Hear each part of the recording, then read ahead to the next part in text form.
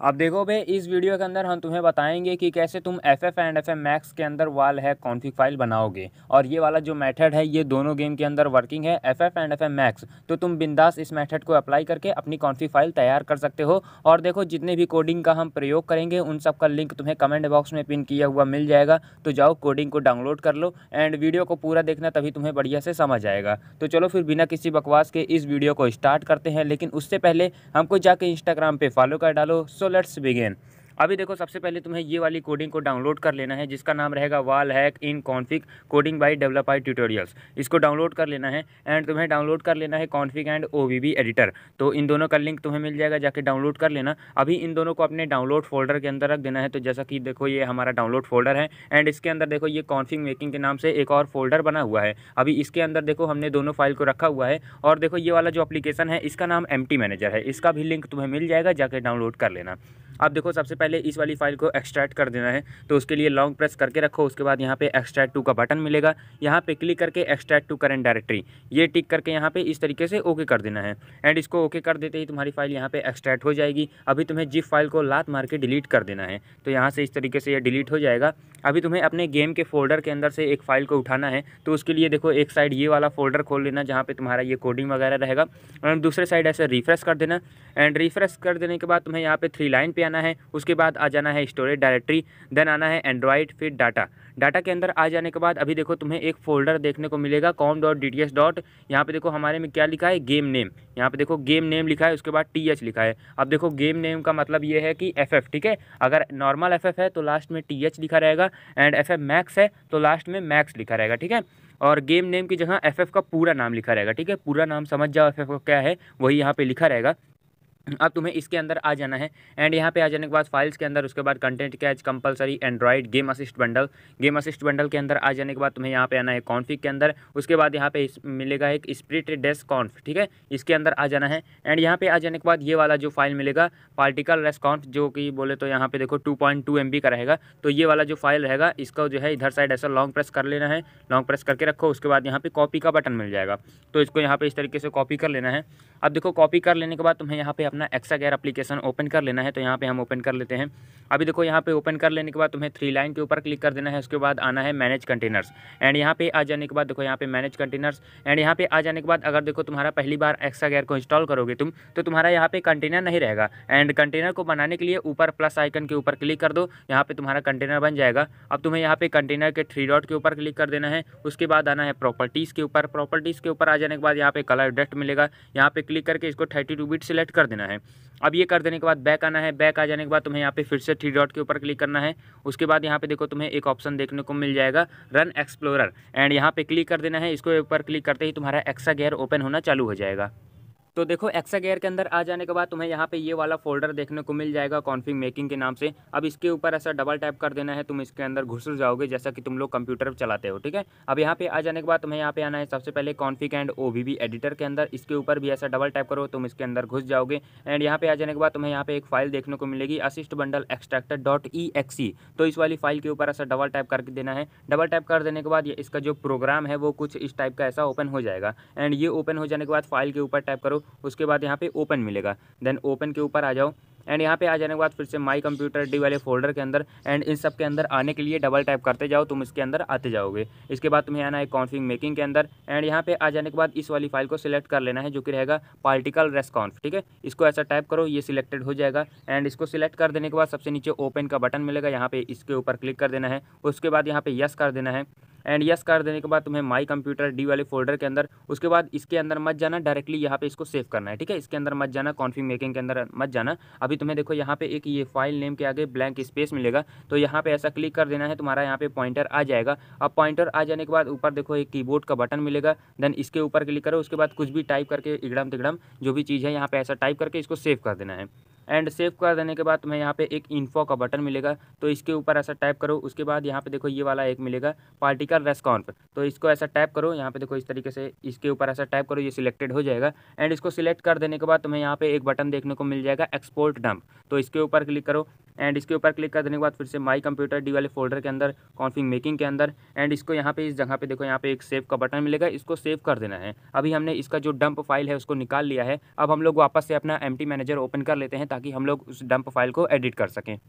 तो देखो MT manager के अंदर आ जाने के बाद अभी तुम्हें ये वाली फ़ाइल देखने को मिल जाएगी जो कि हमने अभी अभी एक्सा गेयर से सेव करवाया है, जो कि रहेगा पार्टिकल रेस्कॉन्फ उसके बाद सी ए बी फिर लास्ट में कुछ भी कोड वोड लिखा रहेगा, ठीक है? तो ये वाली फ़ाइल हमने अभी अभी सेव किया है। अब इसको हम लोग एडिट करेंगे। तो एडिट करने से पहले तुम्हें ये वाली कोडिंग के अंदर आ जाना है वाल एक इन कॉन्फिक कोडिंग ठीक है? इसके अंदर ऐसा टाइप करो, इसके अंदर घुसर जाओगे। एंड यहाँ पे आ जाने के बाद तुम्हें देखो, एक सर्च वैल्यू मिलेगी, एक एंड एक एडिट वैल्यू मिलेगी। तो पहले तुम्हें सर्च वैल्यू को ऐसा कॉपी कर लेना है। एंड ये कॉपी हो गया। उसके बाद तुम्हें यहाँ पे एडिट वैल्यू को भी इस तरीके से कॉपी कर लेना है, ठीक है? यहाँ पे हम लोग दोनों एक साथ कॉपी करेंगे ताकि हमारा ये जो यहाँ पे क्लिप बोर्ड होता है, देखो यहाँ पे क्लिप बोर्ड है ना, पहले इसको हटा देते हैं, चलो ये सब हटाते हैं। हाँ देखो ये हमारा क्लिप बोर्ड है तो देखो दोनों चीज़ हमारा एक बार में कॉपी हो चुका है। तो ये फ़ंक्शन अगर तुम्हारे कीबोर्ड के अंदर है तो तुम ये फ़ंक्शन मतलब आजमा सकते हो, वैसे सब में होता है, ठीक है? तो दोनों में मतलब हमने दोनों को कॉपी कर लिया है search value and edit value को। उसके बाद बैक आना है। बैक आ जाने के बाद तुम्हें ये वाली सी ए बी वाली फ़ाइल के अंदर ऐसा टाइप करना है, तुम इसके अंदर आ जाओगे। एंड यहाँ पे आ जाने के बाद खूब ढेर सारा कोडिंग लिखा हुआ है। एंड लेकिन तुम्हें यहाँ पे कुछ भी अपने हिसाब से छेड़छाड़ नहीं करना है। डायरेक्ट ऊपर देखो, एक सर्च का बटन मिलेगा। सर्च नहीं मतलब पहले थ्री डॉट मिलेगा। थ्री डॉट के ऊपर आना, उसके बाद यहाँ पे एक सर्च का बटन मिलेगा। तो सर्च पे आ जाओ एंड सर्च पे आ जाने के बाद, ये पहले से ही हमने सर्च किया था, इसको हटाते हैं। एंड यहाँ पे आ जाने के बाद तुम्हें यहाँ पे जो तुमने अभी सर्च वैल्यू कॉपी किया था, उसको पेस्ट कर देना है। तो हम लोग इधर साइड आएँगे कि क्लिप के अंदर एंड अपनी सर्च वैल्यू यहाँ पे पेस्ट कर देंगे। अरे यार, यहाँ पे पेस्ट हो गया। इसको हाँ इस जगह पे फाइंड वाले के अंदर, ठीक है? ये जो फाइंड मिल रहा है ना तो फाइंड के अंदर तुम्हें यहाँ पे, इस जगह पे अपनी सर्च वैल्यू को पेस्ट करना है। तो देखो सर्च वैल्यू यहाँ पे पेस्ट हो गया। उसके बाद तुम्हें यहाँ पे देखो, एक रिप्लेस का बटन मिलेगा आर ई पी देखो आर ई पी लिखा है ना, ये जो आर ई पी लिखा है तो आर ई पी के ऊपर ऐसा टाइप करो। टाइप कर देने के बाद ये पहले से ही लिखा रहेगा, इसको हटाना है। एंड रिप्लेस वाले सेक्शन पे तुम्हें यहाँ पे तुम्हारी जो रिप्लेस वैल्यू थी एडिट वैल्यू थी एडिट वैल्यू को यहाँ पे इस तरीके से पेस्ट करके, देखो, यहाँ पे एक फिर ऑल का बटन मिल जाएगा। यहाँ पे देखो एक ऑल का बटन मिलेगा ना तो ऑल के ऊपर ऐसा टैप कर देना है। ये देखो, ये वाला ऑल का बटन मिलेगा। अरे यार, ये जो ऑल का बटन है, इसके ऊपर टैप करोगे तो तुम्हारा जो मतलब सर्च वैल्यू है, वो सर्च होकर अपने आप ही एडिट हो जाएगा, ठीक है? इसको कर देने के बाद ऊपर देखो सेव का बटन मिलेगा तो सेव के ऊपर क्लिक करके इसको बैक कर देना है। तो यहाँ से बैक करेंगे। बैक कर देने के बाद ये जो यहाँ पे पार्टिकल रेस्कॉन पे, फिर उसके बाद सी ए बी फिर ये ब्लैक कलर की फ़ाइल बन जाएगी ना। तो ब्लैक वाली फ़ाइल को ऐसा लॉन्ग प्रेस करके रखो, उसके बाद लात मार के डिलीट कर दो, ठीक है? अब हमारी ये वाली फ़ाइल बसती है, जिसको हमने अभी अभी एडिट किया था। तो एक बार चलो हम लोग इसको रीनेम भी कर देते हैं, ताकि तुम लोग को एडिट करने में मतलब एक्स एक्सा गेयर के अंदर इम्पोर्ट करवाने में दिक्कत ना हो। तो इसको रीनेम करेंगे, इसको हटाएँगे एंड लिख देंगे चलो एडिटेड वैल्यू ठीक है? एडिटेड लिख देते हैं।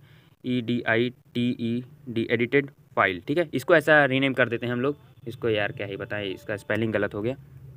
E D I T E D edited file ठीक है? इसको करके ओके, ओके कर देंगे। अभी यह ये हमारी मतलब एडिटेड फ़ाइल तैयार हो चुकी है। अभी हम लोग वापस से अपना एक्सा गेयर ओपन कर लेते हैं ताकि हम लोग इस वाली फ़ाइल को इस वाली फ़ाइल के अंदर इम्पोर्ट करवा सकें। तो देखो एक्सा गेयर के अंदर आ जाने के बाद तुम्हें यहाँ पे फिर से पार्टिकल रेस कॉन्फ को सिलेक्ट कर लेना है। तो ऐसा टाइप करोगे, ये सिलेक्ट हो जाएगा। एंड इसको सिलेक्ट कर देने के बाद तुम्हें इस बार यहाँ पे क्लिक कर देना है इम्पोर्ट डंप के ऊपर। तो इसके ऊपर ऐसा टाइप करो, उसके बाद आ जाओ माई कंप्यूटर डी वाले फोल्डर के अंदर, फिर कॉन्फिंग मेकिंग के अंदर। यहाँ पे आ जाने के बाद तुम्हारी ये जो एडिटेड फ़ाइल डॉट टी रहेगा, इसके ऊपर टैप करो, ये सिलेक्ट हो जाएगा। एंड इसको सिलेक्ट कर देने के बाद यहाँ पे ओपन का बटन मिलेगा। ओपन कर देना है। ओपन कर देने के बाद तुम्हें यहाँ पे देखो, फिर से एक ओके का बटन मिलेगा। यहाँ पे क्लिक करना है, उसके बाद यस कर देना है।